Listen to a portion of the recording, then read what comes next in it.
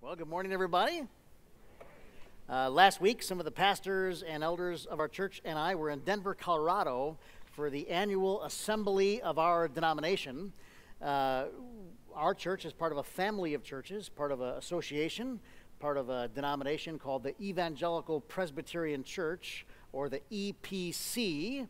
And uh, we get together once a year, the leaders of these 600 churches in the country, for worship and prayer and learning and, uh, and business. And it really was uh, very inspiring. Uh, we talked about global missions and about church planting and about growing ethnic diversity. Oh, thank you. Here comes my, my prop. Thank you, Weston. It's really hard to move. Uh, you couldn't see that in the sanctuary, but Weston was having a little trouble moving this, uh, moving this thing this morning. Um, I, I, always leave from these uh, denominational events actually pretty inspired. I know in our day, people think of, of church denominations as being old school or bureaucratic or hierarchical, and they can be if you're not careful. But I left the assembly this year again uh, seeing the value of connectionalism, mutual submission, and accountability. And I wish I had more time to tell you about that this morning, but we have a big topic today. Last Sunday, we started a, a, two week series on the topic of heaven, and I made some big promises last week about questions that would be resolved uh, today. Uh, most of what we think we know about heaven does not come from the Bible. Most of what we think we know about heaven comes from Renaissance arts, comes from movies, comes from cartoons, you know, images of people on clouds and, and harps. And uh, even those of us that want to, uh, to have a biblically informed image of heaven, uh, that can be difficult too because the Bible uses lots of metaphors in this category. And uh, as I said last week, uh, we read a lot in the Bible about what happens in end times after Jesus returns and, uh, we, and we read about heaven, and, and we've kind of put all that together, and, and they're actually not the same thing, and I'm going to try to separate those this morning. Uh, you're going to hear me say some things this morning that you're going to want to fact check. And I want you to know that I encourage that. In fact, if I say something today that makes you pick up a book on the topic, or to Google search some questions, or even better, uh, pick up your Bible and read what the Bible says about it. If, if uh, this motivates you to do those things, I will consider this a really effective uh, day. Uh, a guy said to his elderly uncle, um, You're really getting up there in age. You should spend some time thinking about the hereafter. And the uncle said, Oh, I do all the time. Every time I walk into a room, I stop and I have to think, What am I hereafter? And uh, and today we're going to be talking about the hereafter. And to organize our thoughts today, I'm going to talk about seven myths about heaven, seven things you think the Bible says that it doesn't actually say. And this really probably is more of a teaching than it is a sermon. But the first myth is this the Bible uses the word heaven to describe the place we go after we die. Okay, heaven in the Bible uh, Shemayim in Hebrew is used in at least a few different ways. And uh, in, in, the, in, Hebrew, like in English, it's used a couple different ways. It can be used uh, to refer to the, uh, the sky, you know, or the atmosphere. You know, we, we say, man, uh, last week the heavens opened and the rain came down. We're talking about the atmosphere. It can be used to talk about uh, you know, the stars, you know, or, or outer space. Uh, we say, man, the heavens look beautiful tonight. We're talking about the, the stars. Or, or it can be used to refer to uh, God's dwelling place. God's dwelling. Right? We say, Our Father who is in heaven. These are all uses of the Hebrew word and the English word in ordinary language. So we're going to play now the Name That Heaven game. And here's the way it's going to work I'm going to read to you a verse of the Bible that has the word heaven in it. And your job is to tell me which use of the word heaven uh, the Bible is employing at that particular part. Okay? And you know how these games are, uh, go? It starts out super, super easy, and it gets progressively more difficult. And that's where we're going to play this. And the first verse of this from Deuteronomy 1:10: you are today as numerous as the stars of heaven. Stars, space. Number two, yes. All right, let's try uh, Psalm 11:4. The Lord is in his holy temple. The Lord's throne is in heaven. God's dwelling. Number three, Genesis 1:20. And God said, "Let the waters swarm with swarms of living creatures, and let birds fly above the earth across the expanse of heaven." Where, where do the birds fly? Number one. Oh, you're good at this. Um, let's jump right to the challenge round. Uh, those of you doing slides, we're going to the challenge round. Psalm uh, 19:1. The heavens declare the glory of God, the skies proclaim the work of his hands. Oh, I hear a little uh, debate there. Which heavens proclaim the glory of God? You could argue all the heavens proclaim the glory of God. I think maybe the author is intending uh, number two. How about this one? Ezekiel 1 1. The heavens were opened, and I saw visions of God. Okay, I've heard all three being voted on. That's fantastic. Right, you, maybe, maybe all the heavens have to be opened to see God. I don't know how that works, but if we have to pick one, maybe it's number three, God's dwelling. Um, how about this one, Genesis 1 1? In the beginning, God created the heavens and the earth. Sanctuary? Oh, that was, that was weird. Uh, which heavens did God create? God created all of them. Uh, we can't be certain which heavens are here, other, though the sky is mentioned later in creation account and the moon is created later. Uh, but a lot of scholars think this is sort of a preamble to the creation account. The people thought in terms of heavens and earth being the created order, and uh, that's probably what's implied here. And maybe it doesn't matter. God created it all. Heaven, for the most part, is the place where God dwells. And Jesus came and said, The kingdom of heaven has come near. God's dwelling, uh, it turns out, is not so far away. This was much of the good news that Jesus taught. Interestingly, the word heaven is never used in the Bible as the place you go when you die, although I think it's fair to use the term in this way. When you die, you go to be with God, with Jesus. And where is God and where is Jesus? They're in heaven, so I think it's uh, fair to use it that term. The, the, the word that Jesus uses is paradise. He says to the thief on the cross, Today you'll be with me in paradise. And then later, Jesus uses the term uh, uh, Abraham's bosom. Remember this? Uh, there's a vision of a guy who comes to Abraham's bosom, Abraham's arms, Abraham's side. And people have wondered is paradise and Abraham's bosom and heaven all referring to the same thing? I think so. Other people have more complicated ideas. But interestingly, the word heaven, used for lots of different things in the Bible, is never used explicitly as the name of the place people go after they die. Myth number two we should not think about heaven. That's a myth. Some people say heaven's too confusing. We can't know really anything about heaven anyway.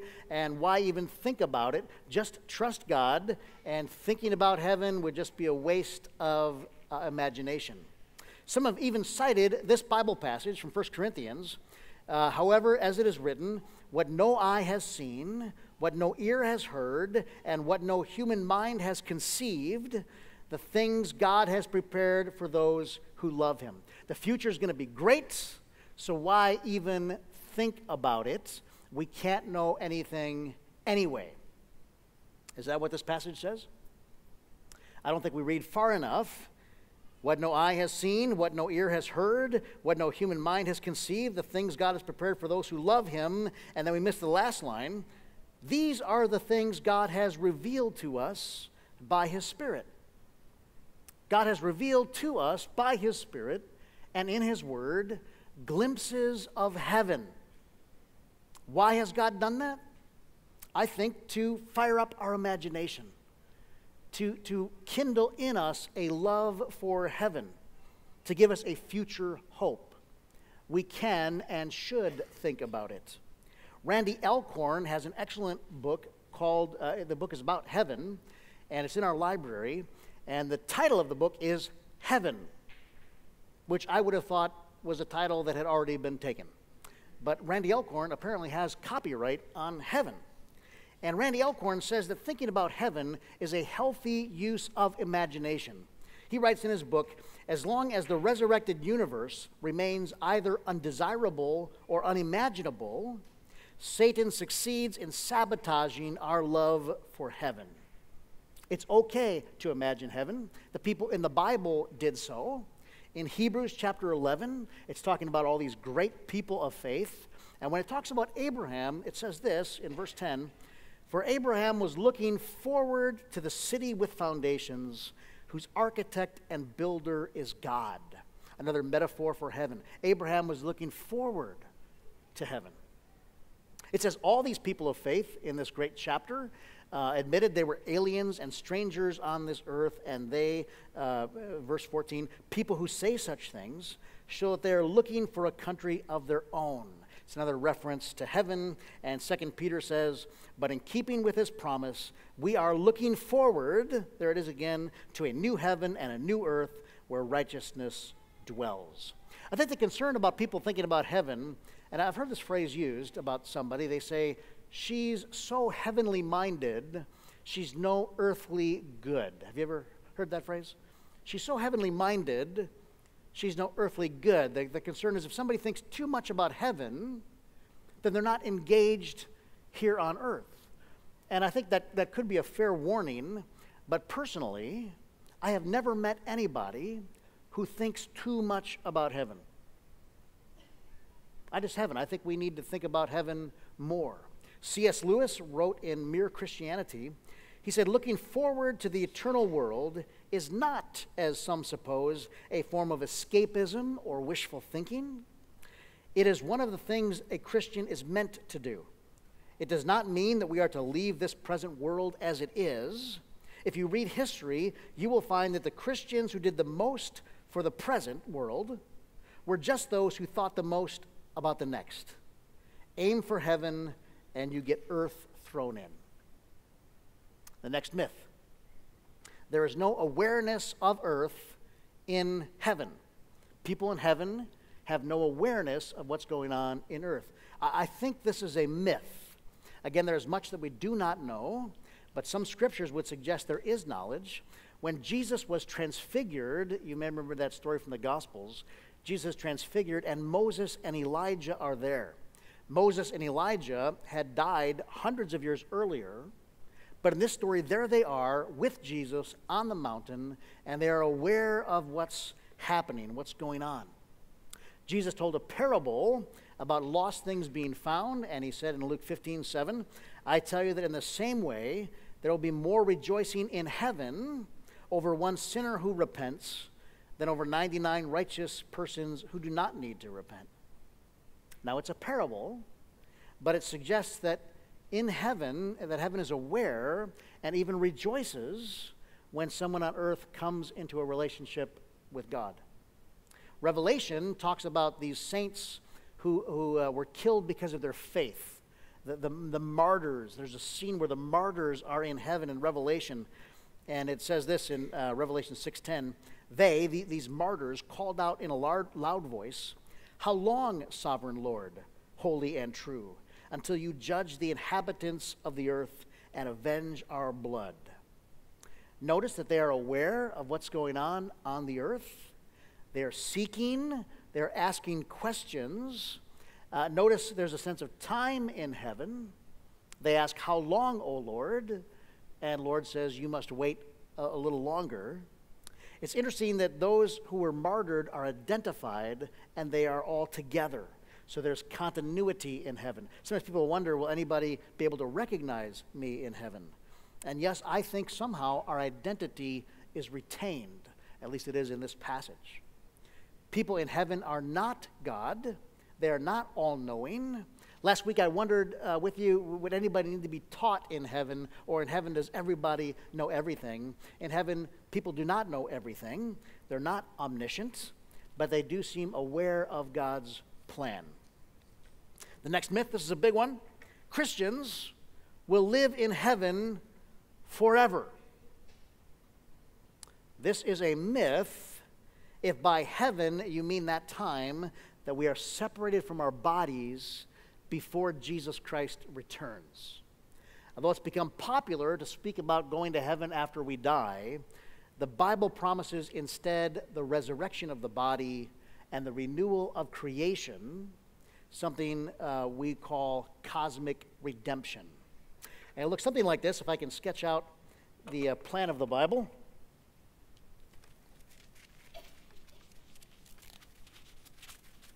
Just talk, talk amongst yourselves for a minute. All right, in the beginning, God creates the heavens and the earth. And we read about this place in creation, the Garden of Eden. And the garden is a fantastic place for humanity. There's a oneness with God, there's a oneness with each other. There is no shame, no sin, no death. And in, in the opening page of the Bible, there's this tree and there's this river, and it is flourishing with life and it's beautiful. Now we know that doesn't last very long. Sin enters the world and the world gets in trouble. But throughout all the Bible, they look forward to this day where everything will be restored. And both Old and New Testaments call it the new heaven and earth. And the Old Testament prophets read a lot about this. One day, the lion will lie down with the lamb. One day, sword will be beaten into plowshares. There'll be no war, no crying, no death. Uh, God will dwell fully with his people once more, just like he did in the garden. And interestingly, in the image in the garden and here, there is a tree and there's a river, and there are very similar scenes, and God dwells with his people, and God dwells fully with his people, and all wrongs will be set right and this is going to be a beautiful day and all of creation. We can, we, can, we can get pessimistic that things are going bad in our world, but actually things are moving toward a great conclusion a new heaven and a new earth, and this gave people great hope. Now, we know in the New Testament, this will not happen until Jesus Christ returns again. He will usher in this new heaven and this new earth. So, what happens in between? Well, it does seem that right now we think of heaven as one category and earth as another. God's dwelling place is heaven, our dwelling place is earth. And when Jesus Christ came for the first time, he announced the kingdom of heaven is near. God's dwelling is available to you now. Jesus talked a lot more about heaven coming down to earth than he talked about us going up to heaven. And so in Jesus, with this time, heaven and earth become a little bit blurry. They're overlapping. You can access heaven now. You can be part of heaven now. Heaven and earth kind of come together, but ultimately, uh, eventually, they will come together in fullness. Heaven and earth will meet together in a new heaven and a new earth. So, what happens when you die? Paul does say that his soul uh, separated from his body and goes to heaven to be with God but that ultimately heaven and earth will join together. I've heard people call this future heaven and this heaven. The Bible does not use that language, but I think that's a helpful way to explain it. So that ultimately your, your, our destiny is the new heaven and the new earth. Look what it says in Revelation chapter 21.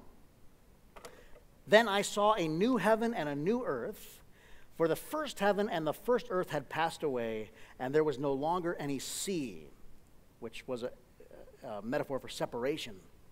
I saw the holy city, the new Jerusalem, coming down out of heaven from God, prepared as a beautiful uh, bride, beautifully dressed for her husband.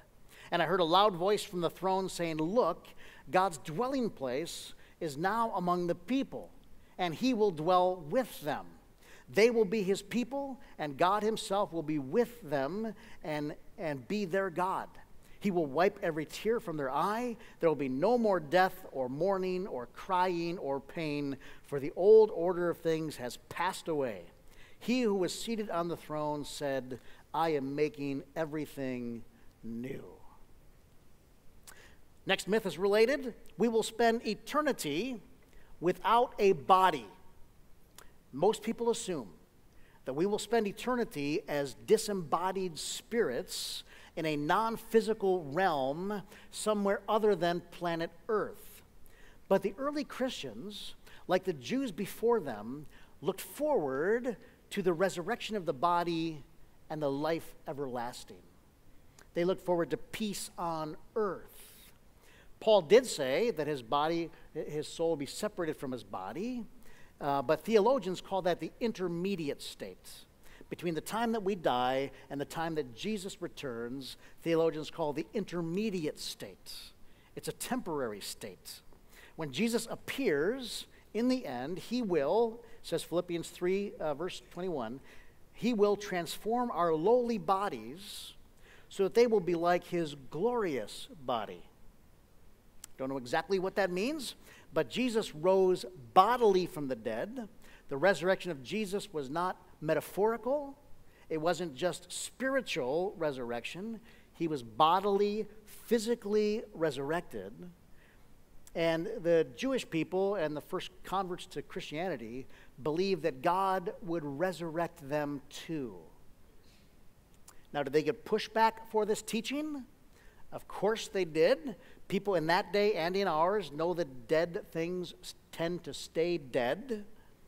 But Paul said, if you believe that God bodily rose Jesus from the dead, why can't you believe that God will bodily raise you from the dead as well? Now, people from a Jewish background did not have a lot of problems with that. They had long believed and anticipated a future resurrection. But people had lots of questions with this. You do too. How does that happen? What kind of body are we going to have? And Paul addresses this, 1 Corinthians 15. But someone will ask, How are the dead raised? What kind of body uh, will they uh, come? With what kind of body will they come? How foolish. So, so much for no questions, a bad question. What you sow does not come to life unless it dies.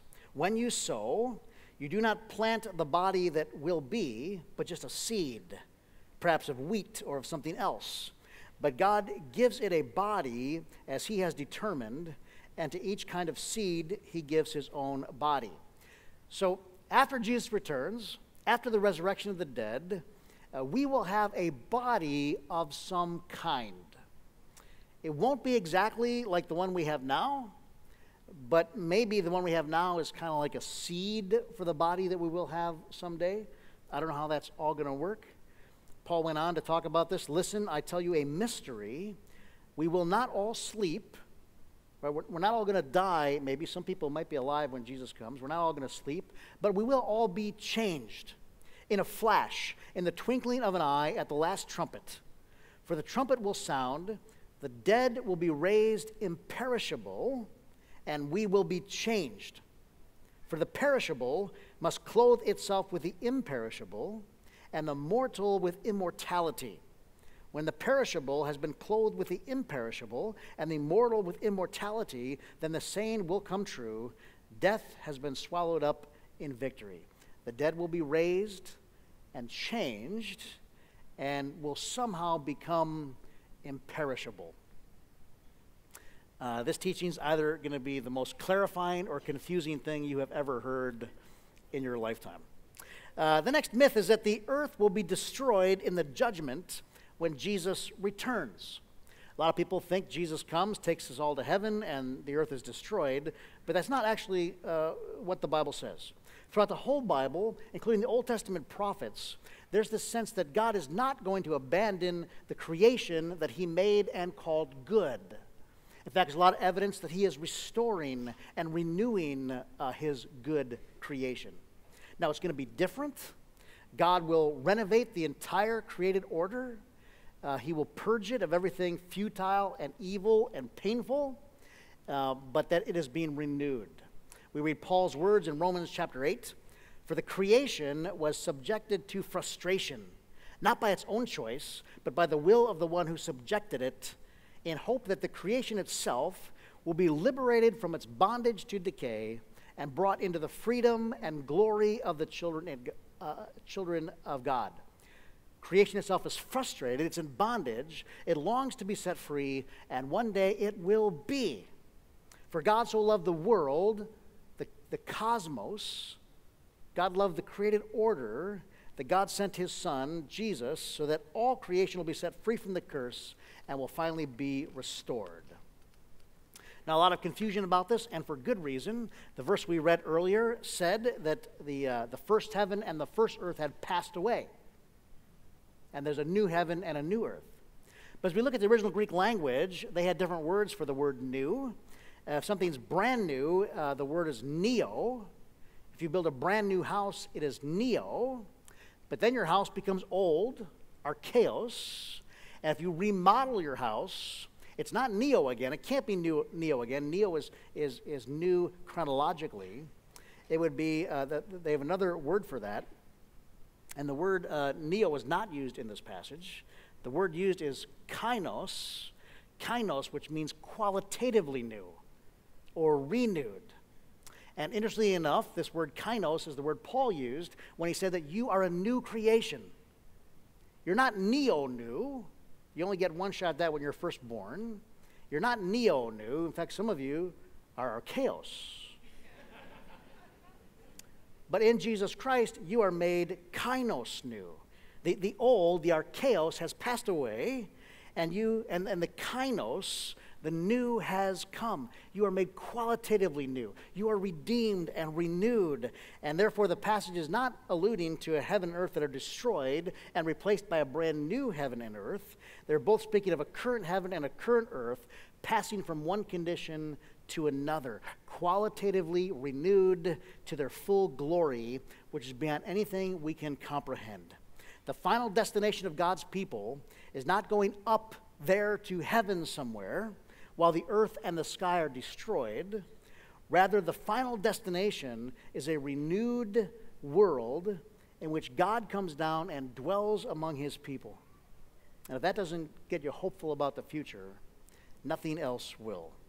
Apparently, when Jesus said he's making everything new, he really meant everything.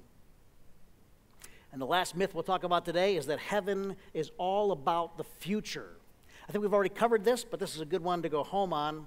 Heaven is not merely what happens in the future when you die, and it's not merely what happens in the future when Jesus returns. Uh, heaven is now. The kingdom of heaven is available now. Paul writes to the church at Ephesus Praise be to the God and Father of our Lord Jesus Christ, who has blessed us in the heavenly realms with every spiritual blessing. This, this is not about the future. God has blessed you in the heavenly realms right now. He said this again in Ephesians 2 6. And God raised us up with Christ and has seated us with him in the heavenly realms in Christ Jesus. This is not about the future. God has seated us now with him in the heavenly realms. In fact, realm is a helpful way maybe to think about heaven, not a place geographically distant, but a whole nother uh, uh, realm, a whole, uh, you science fiction people are way ahead of us. Uh, there's a whole other realm that exists that's available. Paul said, Our citizenship is in heaven. Not someday. He's writing to a colony. Philippi was a colony of the Roman Empire. Lots of military veterans lived in Philippi.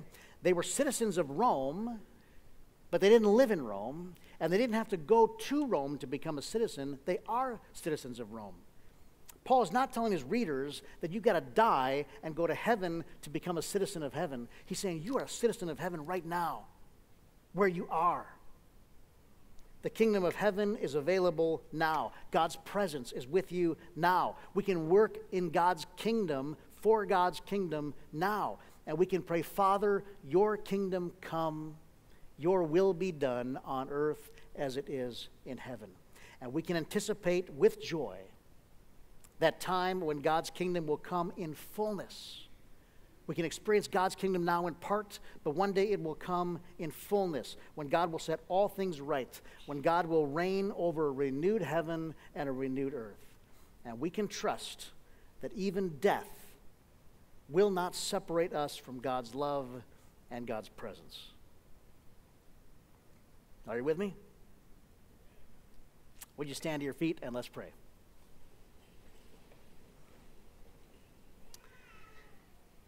Our Father who is in heaven, our Father who is here. Thank you that nothing, not even death, can separate us from your love. There is much that we do not understand. Your word says no human mind has conceived the things God has prepared for those who love him. We do not know the future, but we know the one who holds the future. We trust you and in your unfailing goodness. Thank you for setting eternity in our hearts and for giving us a glimpse of things to come. We are yours forevermore. This we pray in Jesus' name. And the whole church said,